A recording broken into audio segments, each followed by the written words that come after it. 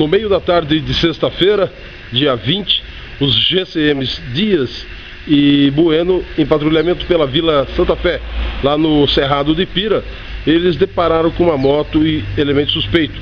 O, GCM Bueno fala pra gente como que foi essa abordagem e eles conseguiram fugir. Mas pelo menos a droga, muita droga por sinal, uma grande quantia de pó puro, pó puro, duas embalagens e mais de 1.500 pinos para a embalagem. Bueno, como que foi essa abordagem? Bem, estávamos em patrulhamento pela Vila Santa Fé, ali na rua São Lucas, quando passamos em frente ao unidade de saúde que ali se encontra pela rua, avistamos uma moto que ao perceber a presença da viatura, retornou e saiu em alta velocidade. Os dois indivíduos contendo a mochila.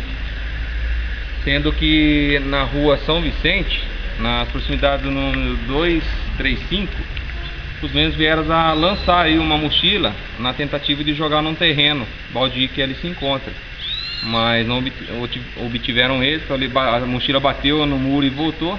No momento que nós paramos para recolher a mochila, os indivíduos conseguiram abrir um pouco a distância da viatura e retornamos aí a, o acompanhamento, mas perdemos o indivíduo.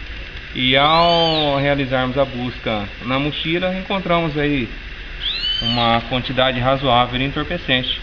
O GCM Dias também fala com a gente, pelo menos o prejuízo foi grande, né, Dias? Sem dúvida, sem dúvida.